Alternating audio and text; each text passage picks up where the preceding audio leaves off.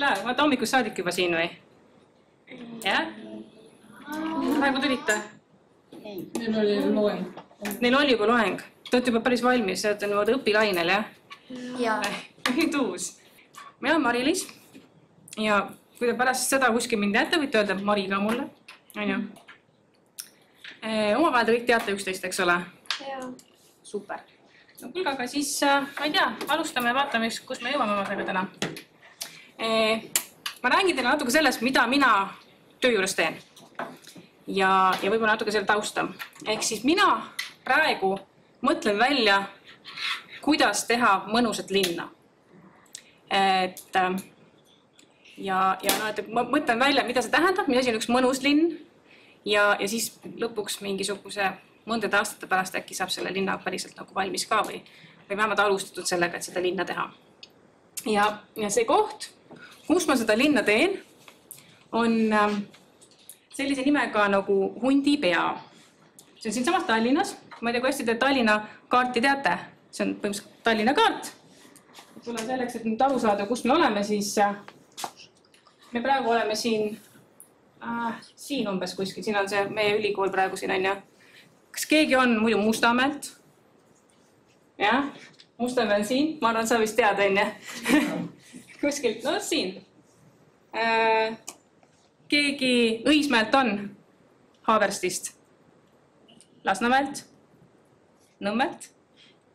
Nõmmelt? ei ole. ei ole? keegi, keegi näiteks Põhja-Tallinnast või Kalamajast on? kesklinnast. no vot. jaa, kesklinn. siit siin kuskil on kesklinn. mina ise olen vot siin üleval, siin Kalamajas. ja kas keegi on veel Tallinnas, kelle kohta ma ei öelnud, kus kohast, kus kohast ma koht, elukoht võiks olla? Pirita, jah, Pirita on siin üleval. seal, onju. mis meil veel on? meil on Lasnamäe siin. siin on meil natuke Haaberstit ja Õismäed vanalinn, võib-olla teate, et see väike laik siin keskel. aga see koht, kus mina nüüd seda linna teen, ma ütlesin, et see on hundi pea, onju. Väike ülesanne, vaata, kas te leiate üles? see on hundi peakujuga koht. ehk siis see vesi peaks tegema nagu hundi peakuju, kas te leiate sellise koha üles? leidsin. leidsid? leidsid? ma olen ainuke, kes pole leidnud. oota, ma aitan sind natukene. kas sa nüüd leidsid? ma panin sinna ühe hundi peale. jah, hundi leidsid üles. ja nüüd on, võtsin hundi ära. on natuke nagu hunt või? Hästi selline nurgeline, vaata, selline lollakalt pika kaelaga ja. aga on, on ju, noh, kui tahta, siis näeb seal seda hunti. see aga, aga sinna ümber, vaata, seal on nagu selline hästi hele, vaata, selline piirjoon ümberringi. et noh, sinna see, sinna see uus lind tuleb. ja nii. ja selline näeb see nüüd praegu välja. ehk siis see on nüüd äh, drooniga tehtud film. Kas keegi teab, mis asi on droon üldsegi? mul on droon. sul on droon? kas keegi on, kes ei tea, mis asi on droon? kõik teavad? igaks juhuks ütlen siis, võib-olla keegi ei julge öelda. droon on vaata see väike see masin, mis lendab üles, siis teeb siukest nagu seljapropelli. nelja propelleriga tavaliselt ja siis teeb sellist nagu hästi-hästi suure sellise kärbse hääl. eks ju, paneb ringi ja siis filmib, näete. ja praegu, see on see kõik see hundi peala, siin praegu remonditakse laevu sellises ujuvdokkides. Need on äh, sellised asjad, mis äh, põhimõtteliselt lastakse vee alla, siis see läheb vett täis, siis laev sõidab sinna sisse, siis see tõuseb üles ja see on jä- järsku laev, eks ole, kuival. saab seda parandada. siin tehakse laevaremonti nendes ujuvdokkides, siin üks laev sees praegu siis siin on hästi palju sellist betooni ja asfalti ja muidu lihtsalt laevu seismas. teate nagu, nagu, nagu autod tegelikult enamus ajast seisavad või pargivad kuskil.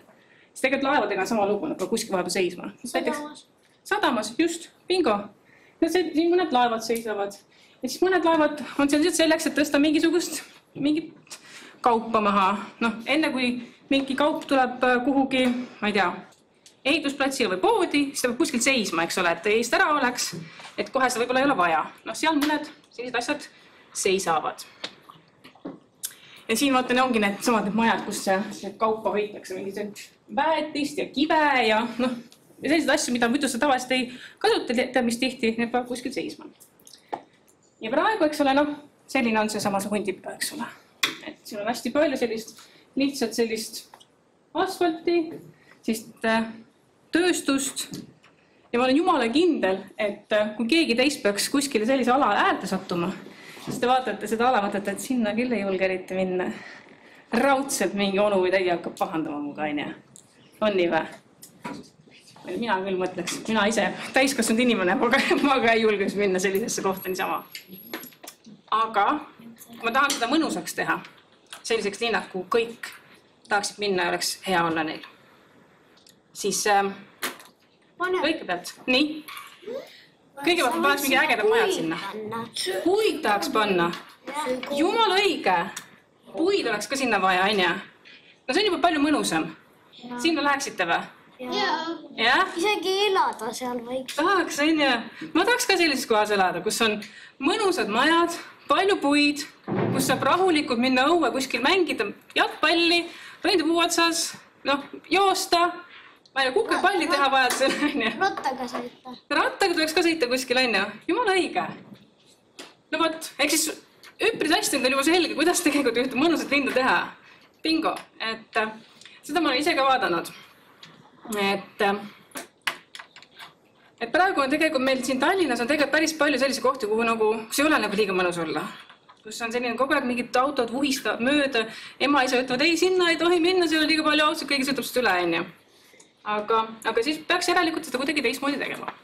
ehk siis, kui me alustame mingi linna tegemist, siis millest me kõigepealt alustame? selleks, et oleks linn, mitte maakoht, onju. maa, linn, mida kõigepealt vaja on?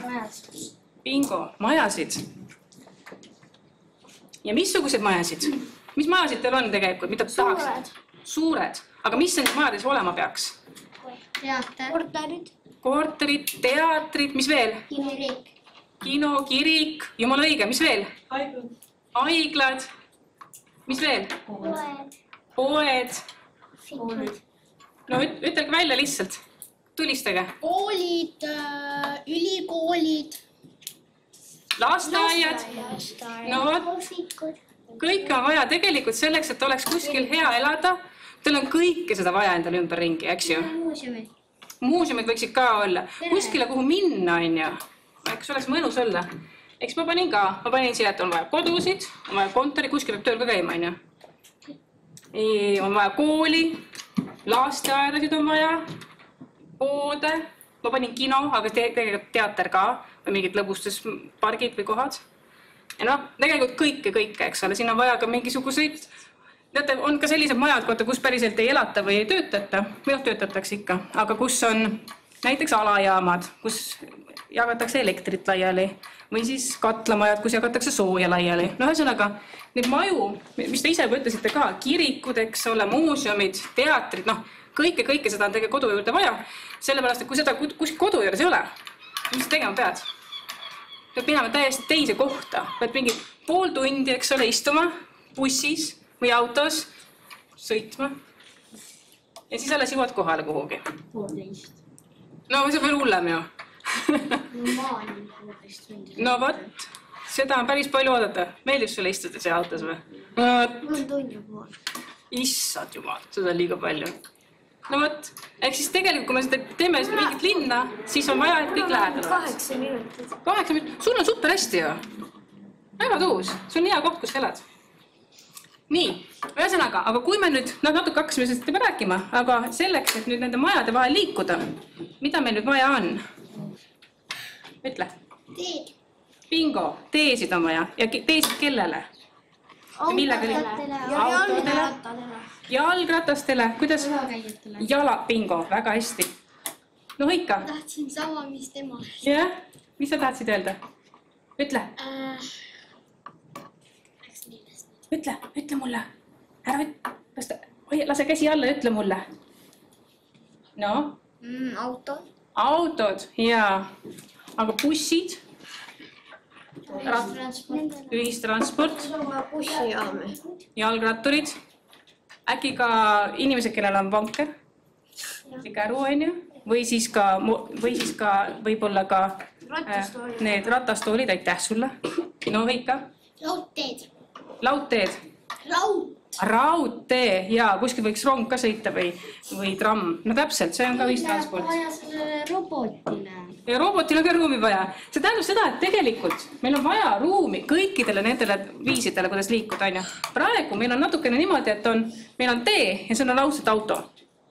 aga tegelikult on sinna auto kõrvale tegelikult vaja ruumi ka bussidele, näed, siin on buss, siin on täiesti eraldi tee on ratturitele.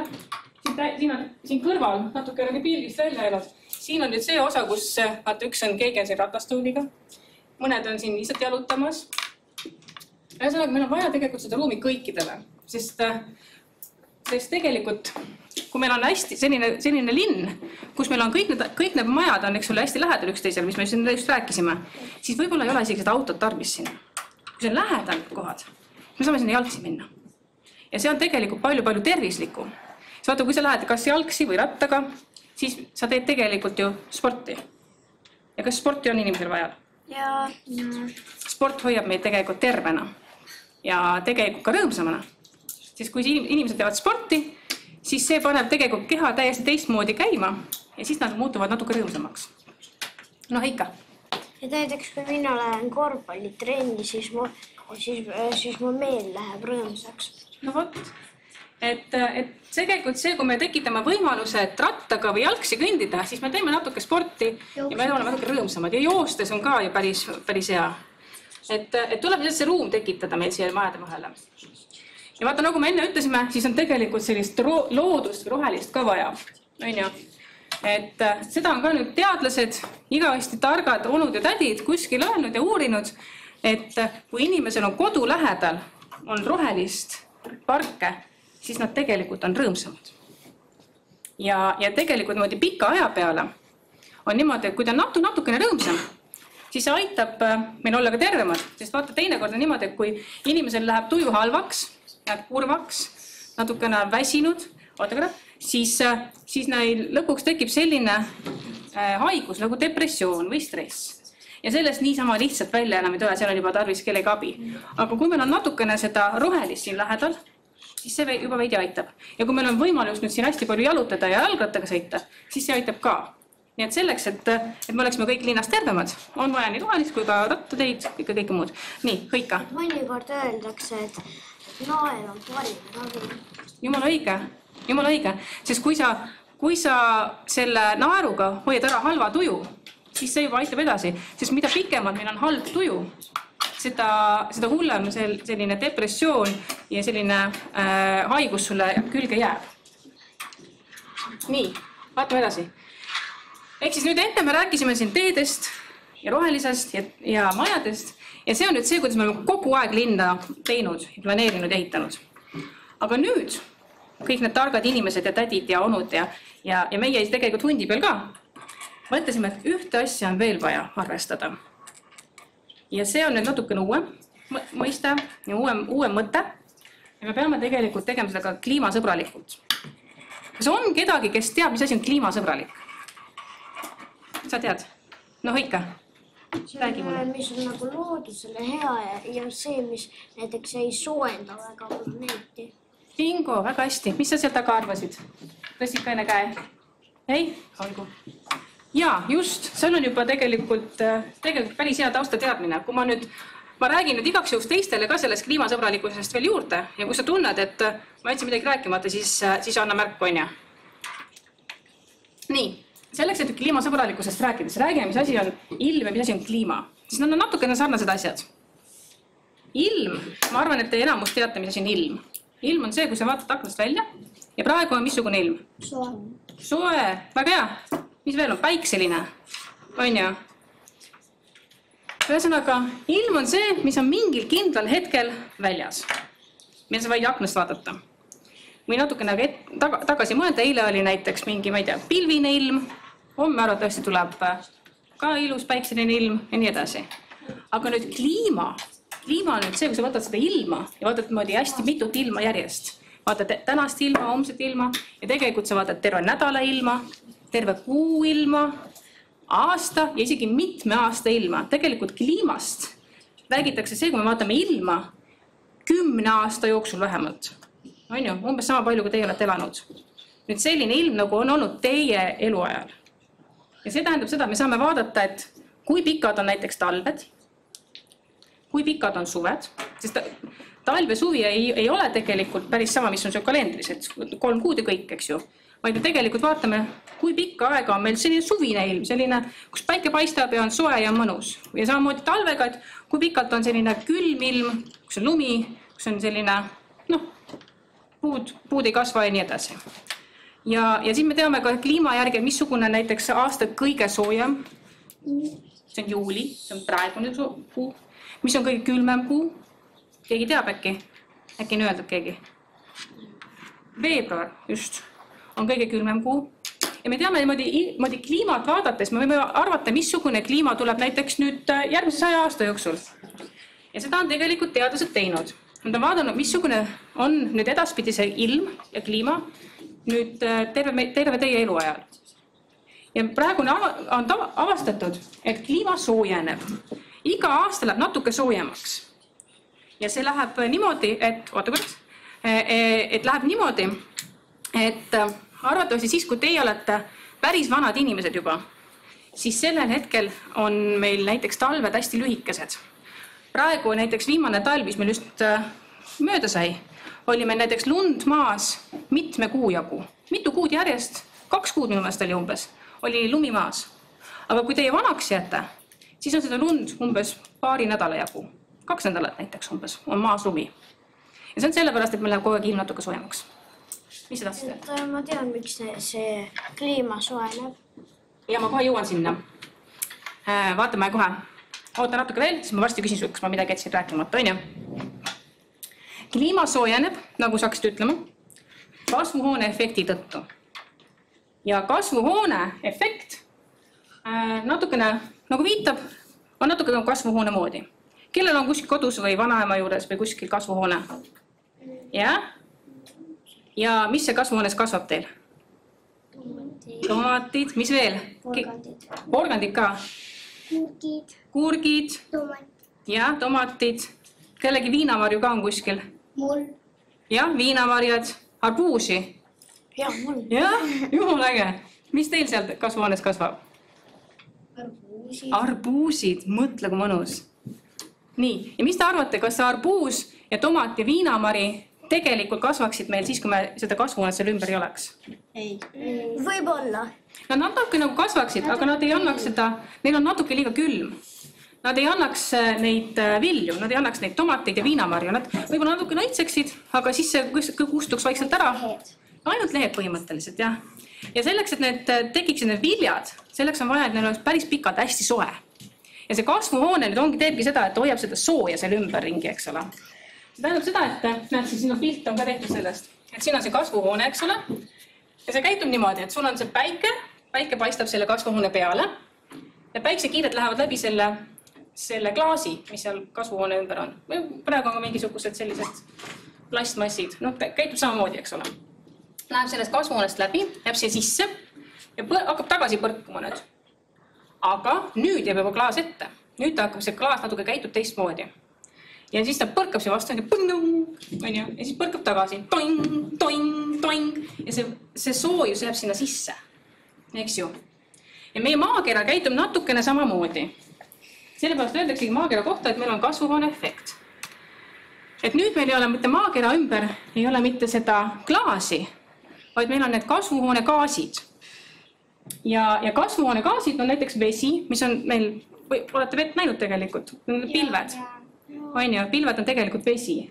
meil on süsihappegaas ja miks ma selle süsihappegaasi või CO2 vaata punaseks tegin, on sellepärast, et see on nüüd see, mida inimesed on hästi-hästi palju tegelikult asma, siia õhku lasknud. Nad on ka teisi, teisi neid, neid kasvuhoonegaase sinna õhku lasknud, seda vett on lasknud, lämmastikoksiide, mis on see N, N2O, metaani on lasknud, osooni on lasknud, kõike on lasknud, aga eriti palju seda CO2. osoon ei saa, kuidas? Osooni ei saa. osooni on ka õhus. osooni on tegelikult õhus pigem siin ülevalpool. see on saade, kuidas? see on saade. see saade sai tegelikult ühe selle aine järgi nime, aga jumala õige on küll üks selline saade osoon olemas. ja seda saab, see on tegelikult üks aine ka, vaat niimoodi kirjutatakse O ja kolm niimoodi alla. natukene, natuke hapniku moodi, aga, aga väikse lisaga. no vot, aga siis see kasvuhooneefekt nüüd selle maakera puhul toimub natuke sarna- sarnaselt, näete. jälle meil on siin seesama päike, jälle kiired tulevad, jõuab maa peale, mingi osa kiirtest põrkab tagasi kosmosesse, aga mingi osa kiirtest nüüd läheb ja põrkab vastu neid kasvuhoonegaase. ja samamoodi nagu selle kasvuhoonega, see on toing, läheb alla tagasi, onju. ja sedamoodi põrkab seal muudkui niimoodi ringi ja muudkui läheb soojemaks, meil siin kõikjal siis muudkui läheb soojemaks. ja tegelikult on see kasvuhoone efekt ka väga vajalik meile. sellepärast, et kui me seda ei oleks, siis oleks meil, oleks meil maakera peal umbes miinus kaheksateist kraadi sooja. mis tähendab, et meil oleks nagu talv siin. vaata, talvel on ka tegelikult miinus kaheksateist meil vahepeal, siis kui lähete välja ja te nägu, hakkab natukene nagu, nagu kipitama või valutama sellest külmast, onju. see tähendab, et väljas on päris külm ja kui meil ei oleks seda kasvuhoone efekti siin, kui meil ei oleks neid kasvuhoonegaase, mis aitaksid maakeral soojemaks minna, siis meil oleks kogu aeg maakera peal talv. ja kui palju teil talvel, eks ole, väljas tegelikult loodust on või loodus kasvab? kas lilled õitsevad? kas, kas puud, kuidas? kaks protsenti kuskil. võib-olla küll, sellepärast et talvel tegelikult miski ei kasva meil eriti, kõik on nagu kõik puud, põõsad, taimed, isegi loomad niimoodi natukene ootavad. Nad ootavad, et tuleks see kevad ja läheks soojemaks, hakkaks suvi juba tulema. Talv on lihtsalt see, kus nad ootavad, et, et läheks soojemaks. aga kui meil oleks kogu aeg talv, siis meil ei oleks seda loodust ja siis ei saaks meie ka siin elada tegelikult. aga, kuidas? liiga külm. liiga külm oleks. aga, aga nüüd ongi, et, et nüüd on tegelikult juhtunud niimoodi, et seda kasvuhoonegaasi on tekkinud natuke liiga palju. ja ta on hakanud natukene liiga soojaks minema. see on hästi-hästi täp-, selline täpne piir, kus on inimestel ja loodusel hea, missugusest temperatuuriga ja kus natuke läheb paljuks ja nüüd on hakanud natuke paljuks minema ja just täpselt sellele, selle tõttu meil on see CO2 või see süsihappegaasi on siia õhku liiga palju tulnud. nii, ja kust me seda süsihappegaasi siis nagu õhku laseme või miks see sinna õhku läheb? on sellepärast, et me põletame fossiilseid kütuseid. jah, fossiilne kütus, kas keegi teab, mis asi see on? Natuke keeruline asi on ju fossil, just nagu fossiilid, natukene nagu selle dinosauruse moodi, dinosauruse luud on ka, eks ole, fossiilid. see tähendab, et see, et, et need luud kunagi elanud loomad või taimed, nad on kuhugi niimoodi maa sisse jäänud pärast surma. siin on hästi palju mingit mulda ja kive ja liiva peale tulnud. Ja seda on sinna kuidagi niimoodi jäänud ja teinekord need fossiilid, mis niimoodi või need surnud taimed ja loomad, mis hästi-hästi ammu elasid ja kasvasid, nad on niimoodi hästi-hästi maa sisse jäänud ja hakanud seal lagunema. ja sellest lagunemisest on siis nüüd äh, mitmeid niimoodi tulemusi saanud, eks ju. mõnikord, kui nad niimoodi kokku on surutud, seal maa sees on hästi soojaks läinud, iga kord kui midagi lagunema hakkab, siis ta hakkab natuke soojemaks minema. ja siin on nüüd mõned näiteks taimed ja loomad, mis on niimoodi maa alla jäänud, hakanud lagunema ja neist on tekkinud kivisüsi see on selline kõva, selline natuke nagu, nagu kokku surutud ja lõpuks nagu natukene nagu kivi moodi selline, selline kõva asi. ja see on siis no natuke söe moodi gaasi, mis teil lõkkest üle jääb, onju. ehk siis see läheb tegelikult veel põlema ja samamoodi on, vaata, näete, saab te, teinekord, kui mingid loomad või taimed on niimoodi maa alla jäänud, hästi kokku surutud, hakanud lagunema, siis need on lagunenud selline pruun vedelik nafta ja samamoodi, kui nad on lagunenud, siis mõnes kohas on tekkinud sellest mitte enam, mitte enam kivisüsi või nafta, vaid on gaas tekkinud, see, mida te kodus võib-olla olete näinud, et kasutatakse äh, toidu tegemiseks. ehk siis sellest lagunemisest võib väga erinevaid fossiilkütuseid saada, fossiil, eks ole, siis on maa alla jäänud, hakkab lagunema ja kütus sellepärast, et me saame seda kuidagi kasutada kütusena, midagi, mis, mida me saame põletada, niimoodi meil on kasu sellest. nii ja siis Eestis on nüüd samamoodi. see oli nüüd see, mida maailmas kasutatakse kütusena, et iga kord, kui midagi põletatakse, siis see, see põlemise tulemus nendel fossiilkütustel, kui see ära põlenud, siis see läheb õhku, eks ole, CO2-na. ja nüüd Eestis on samamoodi. Eestis me enam ei kasuta mitte kivisüsi või meil ei ole naftat, aga meil on ühte teist fossiilkütust, ma annan selle käima siit.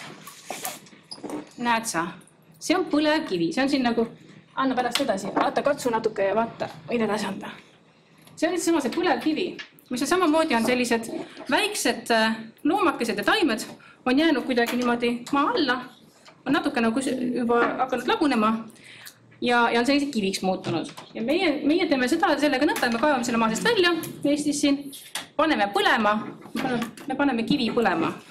see on naljakas, onju. me paneme selle kivi põlema ja me saame sellest elektrit. aga samamoodi, kui me selle paneme põlema, siis sellest tuleb jälle CO2 välja. kõik jälle, iga kord, kui põleb midagi, siis kohe läheb CO2 välja õhku meil. ja, ja samamoodi on Eestis on üks asi, mida siis, mis, milles meil hästi palju CO2 läheb õhku, on on autodega, bussidega, veokitega, noh, kõigega, mis põriseb, sõitmine. see on nüüd sellepärast, et see, selleks, et seda autot või bussi või veokit tööle saada, selleks on meil vaja kütust. ja see nüüd tuleb sellest naftast. gaasi. Gaasi kasutatakse ka mõnes kohas, jah. mõned bussid on gaasiga, just. aga see on samamoodi, et kui sa seda nüüd, seda kütust või gaasi põletad, siis sul sealt teiselt poolt sealt auto sealt pepu poolt, sealt tuleb seda CO2 jälle välja, eks ole, jälle läheb õhku. ehk siis see on nüüd see, millest Eestis kõige rohkem tuleb äh, CO2 meil õhku. ja see on nüüd see, mida on siis öeldud, et tegelikult peaksime vältima. teadlased on seda juba teadnud ammu, ammu-ammu juba siin tead, kui mina olin veel väike jumpsik, siis öeldi, et kuulge, lõpetame selle CO2 õhku laskmise ära, see ei ole meile hea. aga nüüd, mingi ütleks, et viimase kümne-viie aasta jooksul on öeldud, et üldse, üldse, üldse, üldse ei tohi ja siis on hakanud mõned siis need otsustajad lõpuks ka päriselt nagu mõtlema, et okei okay,, ärme siis lase seda õhku. ühesõnaga, me peame sellega tegelema, et seda CO2 õhku vähem lasta. Ja, ja mis, mis see tähendab, et järelikult vaata, ma ütlesin, et, et elektrit meil tuleb tegelikult sellest fossiilkütuse põletamisest.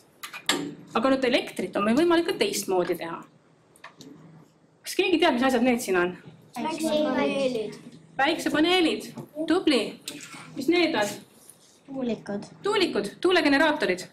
ehk siis me saame päiksest ja tuulest ka tegelikult elektrit teha.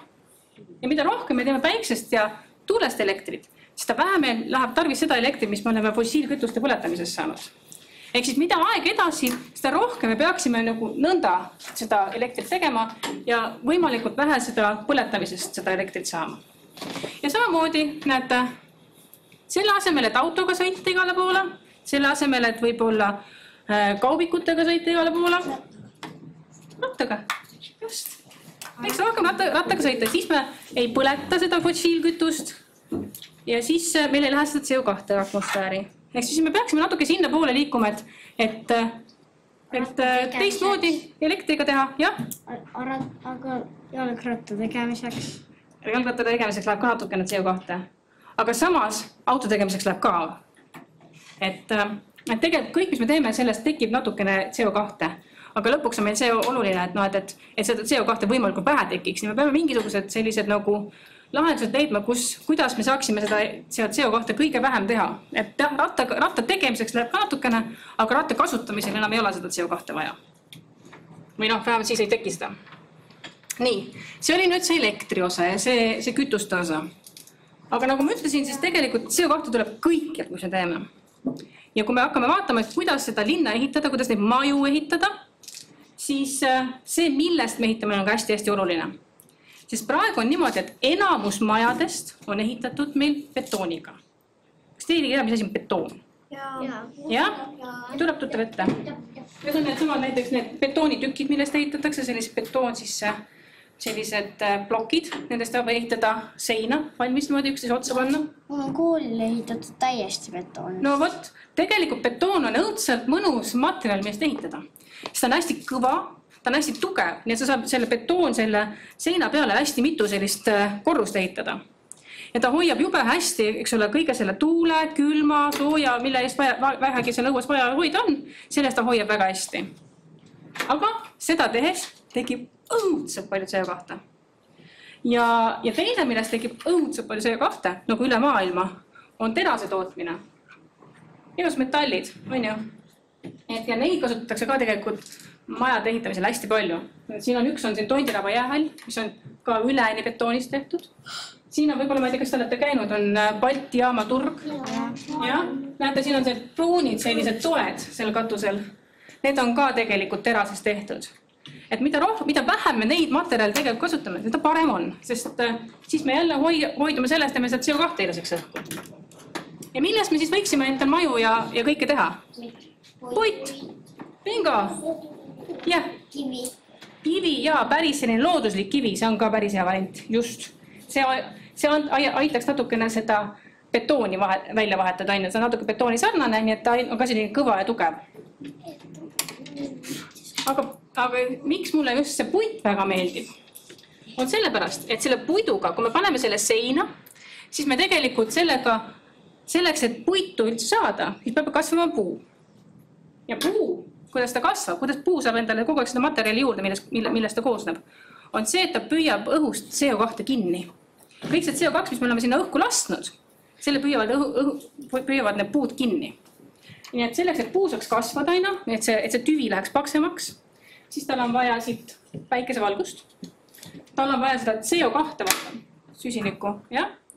ja tal on vaja mullasest mineraale ja kindlasti ka vett, nelja asja millest üks on see, millest me tahame lahti saada õhus. ja siis nüüd, kui ta nüüd muudkui kasvab, siis see, siis see kogu see CO2 tegelikult jääb siia tüve sisse. ehk siis see tähendab seda, et ta on püüdnud selle CO2 kinni, ta on selle tüve sisse niimoodi kinni pannud. ja kui me nüüd sellest ehitame maja valmis, siis see tähendab, et meil on maja sellest kinni püütud CO2-st ehitatud. onju, mis iseenesest on väga-väga hea tulem ja see ongi see, mille poole me tahame, eks ole, tegelikult lõpuks liikuda, et õhust võtta CO2 kinni, välja võtta see uuesti ja see kuhugi niimoodi ilusti ära panna. ehk siis, kui me vaatame nüüd seda, vaatame, et siin kõrval on metsapilt, mis te arvate, kus siin CO2 on? puus. puu sees, puutüved, on ju. mis te arvate, see roheline siin ka? sõnajalg. sõnajalad, siin sees on ka tegelikult see CO2 kinni püütud. kõik need lehed, need on ka CO2 kinni püütud, on ju. et tegelikult siin, mida rohkem meil on metsa, seda rohkem me püüame tegelikult õhust tegelikult seda CO2 kinni. Kui me jälle nüüd puu ära põletame, siis see CO2 läheb õhku ja, ja ta on jälle meil mure, eks ole. ja teine variant, millest veel võiks siis ehitada neid äh, maju on nüüd need vanad olemasolevad materjalid, see on nüüd see taaskasutamine, millest te võib-olla olete koolides ja lasteaedades kuulnud. miks on vaja prügi sorteerida? Et äh, mu- et mu sõbral on kell, mis on tehtud plastikust, mis on äh, püüdud merel. vot, kui me sorteerime ilusasti prügi või kui me selle prügi kuskilt kätte saame ja uuesti kasutame, siis see tähendab seda, et me ei pea sedasama, seda plastmassi uuesti nullist tegema, sest iga kord, kui me teeme midagi nullist esimest korda, siis me laseme õhku CO2. kui me võtame nüüd selle vana pakendi või materjali ja teeme selle uuesti, võtame kasutusele, võib-olla natuke sulatame üles ja anname talle uue kuju, siis see tähendab, et me nii palju CO2 ei lase õhku, me laseme hästi-hästi natukene, aga mitte enam nii palju kui seda, et täiesti nullist tehes. ja sellepärast vaata, meil räägitaksegi, et, et jah, et, et kõik pered peaksid prügi sorteerima. sorteerige prügi, sorteerige prügi, sellepärast, et kui me prügi ei sorteeri, need on kõik see, see sodi, mis meil üle jääb, on kõik ühes, ühes kotis, siis see läheb üldiselt kas põletamisesse või prügimäele. keegi sellega ei viitsi rohkem tegeleda. aga kui see on eraldi liikideks tehtud, siis neid eri, eraldi liike saab erinevat moodi uuesti jälle kasutada. jah, külas visatud ehitusmaterjal olmesse. no täpselt, aga kui sul oleks see, kui, kui see ehitusmaterjal oleks, oleks eraldi püütud, nagu pandud kuhugi kõrvale, siis oleks seda ehitusmaterjali saanud kuskil järgmise ehituse peal kasutada, onju. Ja siin on ka tegelikult, noh, räägi, mis sa tahtsid öelda. meil on, et me, et meil on see äh, viis seda prügi äh, nagu ämbrit. viissada prügiämbrit, ossa, aa viis. Ja, ja, ja. Erinev, viit erinevat asja sorteerite jah, väga hästi, väga tublid, väga hästi. biojäätmed, plastik, klaaspudelid äh, ja sega. Papp ka äkki, papp ja paber ja, ja, onju, näete ja kui nad on ilusasti nüüd seda materjali on eraldi korjatud, siis saab sellest ka tegelikult väga ägedasti uuesti midagi ehitada. millest see maja ehitatud on, saate aru? pudelitest. bingo, pudelitest, klaaspudelitest. klaaspudelitest, see oleks nagu niimoodi, et see, see pudeli, see alumine, see põhjaosa, vaata on siia väljapoole pandud ja siis on neid pudeleid siin uh, palju onju. ma mõtlesin katuse katusele on ka need pudelid pandud ja, aga vaata need väiksed ümmargused ringid siin. Need on ka pudelid, kõik see sein on pudelitest tehtud. nii suur põhja pole pudelil. on ikka kas sa ei ole näinud, mõnikord on mõned pudelid nii kõrged või eriti sellised erilised pudelid, nad on erinevas suuruses. nii kõrged. no vot, ka sellised suured sellised, sellised šampanjapudelid võivad olla nii suured, noh, ma olen näinud. no vot, vot, mina olen ka mõndasid näinud, neid eriti palju ei ole, aga mõnes kohas ikka leidub. kas saate aru, millest see maja on ehitatud? jaa, nendest, need on need, need kaubaalused, nende peale teinekord pannakse mingit kaupa, näiteks pannakse mingisuguseid äh, tänava ehitamiseks mõeldud kive, pannakse niimoodi siia terve hunnik peale, pannakse ta äh, veoauto peale, siis saab veoauto pealt mitte niimoodi, et ükshaaval neid kive maha võtta, vaid saab kõik korraga, kui me võtame selle alusega, eks ole. ja sellest on tehtud vot need, see maja siin näiteks. Meie ei saa alusega võtta, me saame ainult tõstukiga. No vot, no tõstuki jaoks on ka vaata hea, kui ta on mingisugune niimoodi ühes tükis ja mingisuguse aluse peal onju. ehk siis siin on selline alus. siis siin on vaata, on mingitest vanadest majadest või vanadest äh, sellistest aedadest väiksed tükid välja lõigatud, mis on sellised telliskivitükid. ja sellest on nüüd jälle pandud terve maja kokku. ja see, kas te mõtlete välja, millest see maja võiks olla tehtud? Need valged osad betoon. ei ole betoon need tuuleveskid. jaa, tuulikutest, tuulikulabadest, need labad, mis siin on. sest te- need tuulikulabadega on see, et need äh, tuulikute labad löövad umbes mingisugune kakskümmend aastat vastu ja sealt hakkab väikseid, väikseid neid äh, noh, hakkab vaikselt murenema, väiksed praod tekivad sisse ja siis ei saa neid enam kasutada. aga sellist materjali me enam uuesti taaskasutada ei saa, me ei saa seda väikesteks tükkideks võtta ja uuesti mingiks tuulikulabaks panna. nii et tavaliselt, mis nende labadega juhtub, on see, nad võetakse ära korjatakse kokku ja viiakse prügimäele. seda, et pannakse maha, pannakse niimoodi üks, üksteise kõrvale, pannakse muld peale ja kõik. sellest ei tehta mitte midagi enam. aga siin on üks äh, majaehitaja kasutanud ära majaseinteks. kas päikesepaneelidest saaks ka nii teha midagi, et kui nemad oma aja ära elavad? Tegelikult vist peaks mõtlema välja. see vaata nõnda, et, et oleneb, millest see päikesepaneel tehtud on. kui lihtne on vaata neid erinevaid, see on päikesepaneelid koosnevad hästi mitmest kihist. ta näeb välja nagu oleks üks suur tükk, aga tegelikult on seal peal on, eks ole, selline eh, klaasikiht, siis on seal mingisugune kiht, kus on need, need eh, noh, elektri sellised liinid või et ühesõnaga, seal on hästi mitu kihti ja kui oleneb sellest, et kui lihtne neid kihte omavahel nüüd lahti uuesti võtta kui seda on lihtne võtta lahti, siis jumala eest me saame neid eraldi neid komponente kasutada jälle. kas uuesti, et, et elek- mingisugust elektripaneeli teha või päikesepaneeli või millekski muuks. aga sisuliselt jah, sul on jumala õigus, me peaksime tegelikult jumala palju liikuma selles suunas, et me teemegi kõiki neid asju, mida me igapäevaselt kasutame nõnda, et meil on lihtne need pärast lahti võtta ja uuesti ära kasutada neid osasid. et see on see, mille poole me peaksime liikuma. nii ehk siis nüüd kokkuvõttes, mis on minu jaoks mõnus linn? siin on natukene seda nagu näha, minu meelest on üks mõnus linn see, kus kõigil oleks hea olla, kus oleksid sellised majad, kus saaksid elada ja töötada, jah, oleks nagu vaikne. vaikne võiks ka olla, onju. see tähendab seda, et neid automüra, linnas on tavaliselt automüra hästi palju. ehk siis, kui meil ei ole neid autosid siin kohe magamistoa all, siis võib päris vaikne olla kui me saame seal kõndida, siis öösel vaata, saad rahulikult magada, ei ole mingit müra. väljas eriti inimesed ei käi. kui meil on autod, siis noh, autod ikka vahepeal sõidavad. ehk siis mõnusas linnas võiks olla vähem autosid minu meelest. võiks rohkem kõndida, võiks rohkem jalgrattaga sõita. ja need majad võiksid olla tehtud sellisest äh, materjalist, mis on meile mõnusad ja tegelikult kliimale ja, ja planeedile ka head kas kellelgi on veel mingeid mõtteid, missugune peaks see linn olema, et oleks mõnus? mis sa arvad, missugune peaks olema? kuidas? hele hele, et ei oleks mustasid majasid. ja, jumala õige, ja puhas puhas ka ja missugune võiks olla linn?